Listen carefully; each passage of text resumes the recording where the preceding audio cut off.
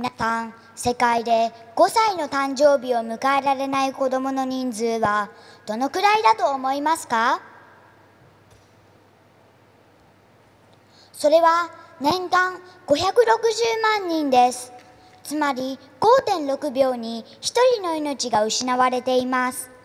とても衝撃的な数字です。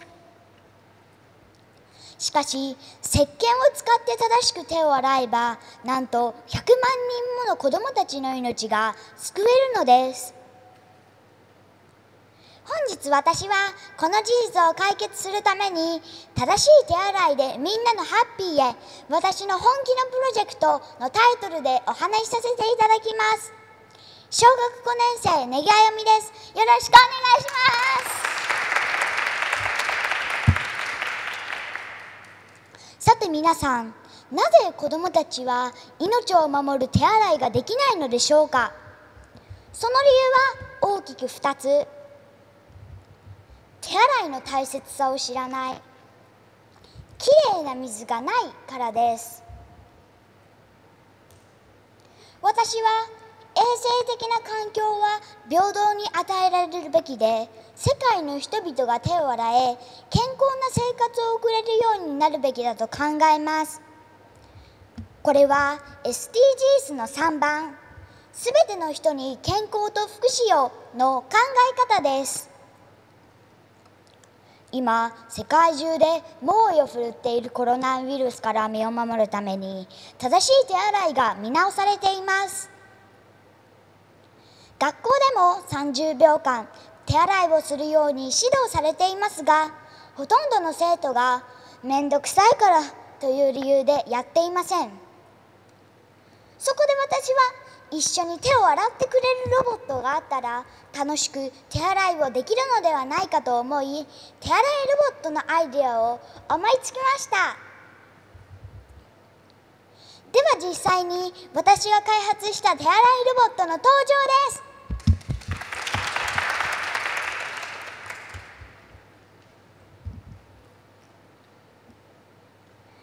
名前は Shall We Wash? のシャルくんです。では実際にシャルくんと一緒に手を洗っている動画をお見せします。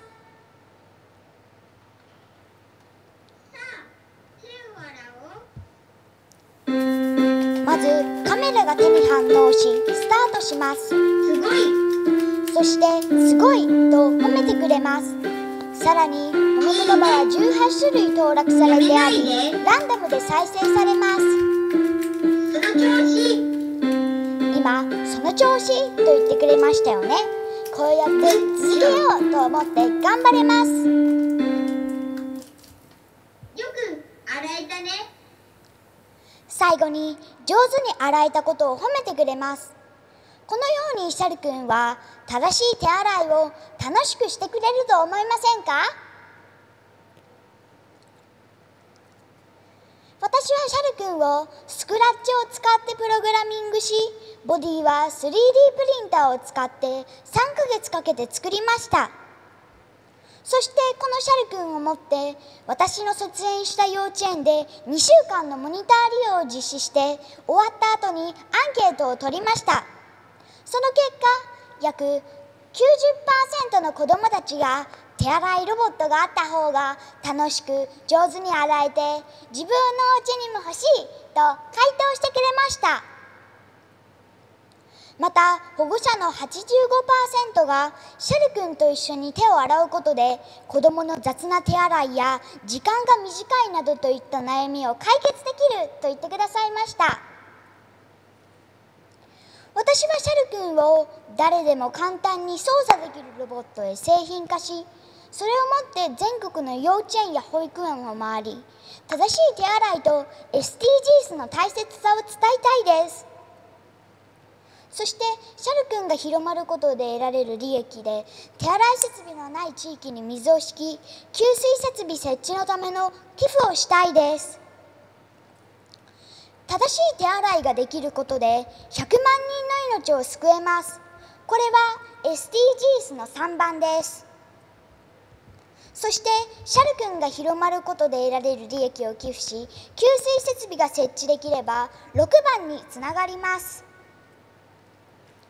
さらに給水設備があれば子どもたちが水汲みに行かなくて済み学校に通うことができるので4番にも貢献できます。つまりこのプロジェクトが達成できれば SDGs の3番6番4番に貢献できるのです。この私のプロジェクトは約1年前に手洗いロボットがあったらいいなや製品化して世の中に売り出してみたいなそれから自分でロボットを作ってみたいなというワクワクから始まりました。しかしこのプロジェクトを続けるためにはたくさんのチャレンジをしていくことになりました。初めてのことばかりで戸惑ったり涙を流したりすることもありましたが多くの方々に協力していただきここまでたどり着くことができました。そして活動を続けいろいろなことを調べていく中でこのプロジェクトは楽しく正しい手洗いができるのはもちろん SDGs にも貢献できみんなのハッピーにつながることが分かりました。今は私の思いに共感しシャル君を一緒に広めてくださる企業を探していますがとてもとても苦労しています。まだまだ解決しなければならないことや経験したことのないチャレンジは続きますが絶対に諦めずにみんなのハッピーのためにやり遂げたいです。ぜひ応援してください。ございました。